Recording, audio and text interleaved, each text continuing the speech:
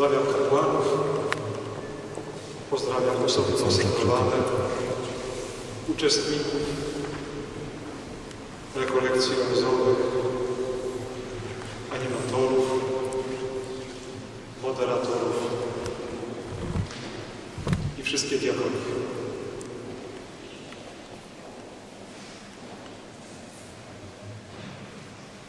Moi drodzy, przeżywacie Dzień Wspólnoty. Dzień Wspólnoty jest doświadczeniem tajemnicy Kościoła, którą święty Paweł ukazał przy pomocy bardzo sugestywnego obrazu. Obrazu ludzkiego organizmu. Prowadząc się na słuchaniu Bożego Słowa i łamaniu chleba, w widzialny sposób ukazujemy jedność tych wszystkich, którzy przynależą do mistycznego ciała Chrystusa, który jest ożywiany Bożym Słowem i mocą Ducha Świętego. Moi kochani, należąc do Kościoła, tworząc Kościół, bo my wszyscy Kościół tworzymy, należąc do Kościoła, jesteśmy od siebie zależni. Jesteśmy zależni od Chrystusa i Jego Ducha, sprawcy naszej jedności.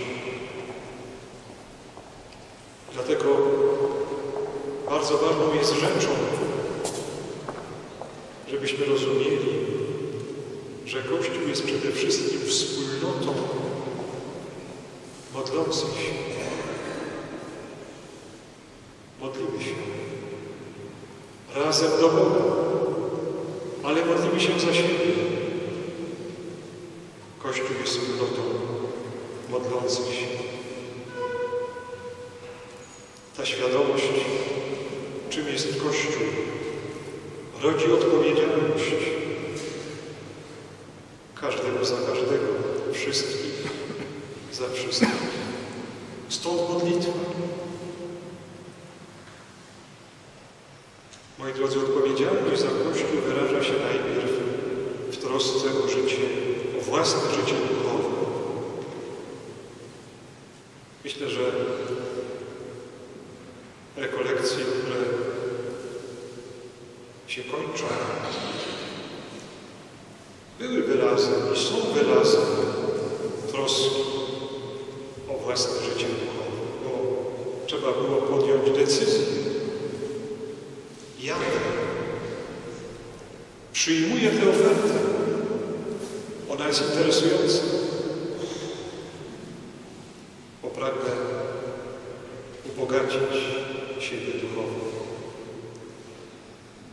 A moi drodzy, życie duchowe nas samych, poszczególnych wierzących, ubogaca Kościół. Grzechy zaś go osłabiają. I moi drodzy, ja nieraz o tym powiedziałem, mówiłem, ale jeszcze raz powtórzę. Popatrzcie na siebie. Kościół ma twarz każdego z nas. Ma naszą świętość, naszą wiarę, naszą miłość, ale też ma nasze grzechy, słabości, zaniedbania. A zadaniem nas wszystkich jest budowanie wspólnoty sióstr i braci Jezusa poprzez wypełnianie powołania do świętości, przez codzienną wierność. Chrystus ukazuje nam dziś drogę do świętości. Powiedział, trwajcie w miłości mojej, wypełniając Bądźcie moimi przyjaciółmi.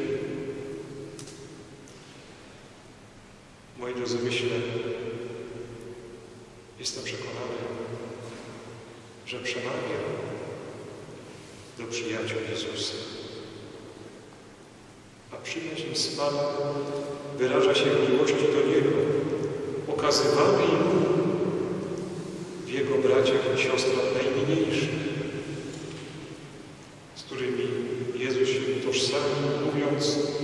wszystko, cokolwiek uczyniliście jednemu z tych braci, moich najmniejszych, mnieście uczynili.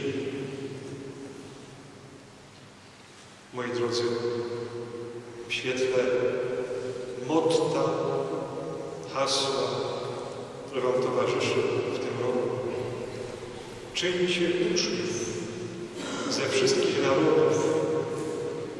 Budowanie Kościoła obok troski o własną relację z Bogiem wyraża się w zaangażowaniu w misyjne dzieło Kościoła, w ewangelizacji.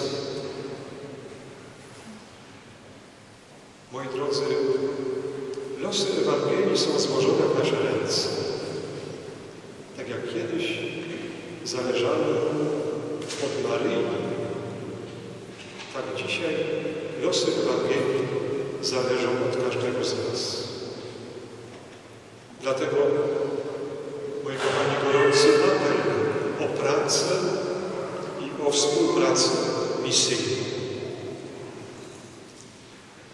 Moi drodzy, wymienię kilka form pracy i współpracy misyjnej.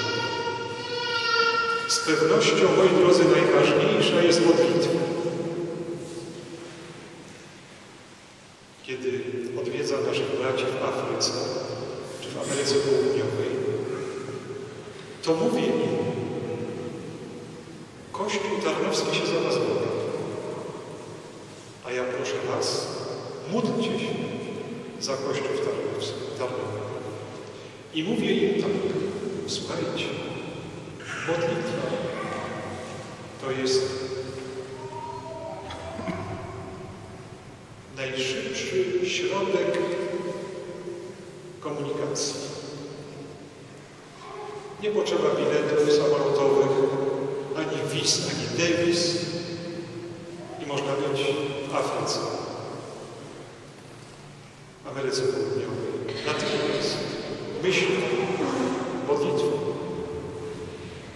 Dlatego, moi drodzy, modlitwa za dzieło misyjne. Modlitwa za Kościół w krajach misyjnych, szczególnie tam, gdzie jest on prześladowany. Modlitwa za misjonarzy duchowych i świeckich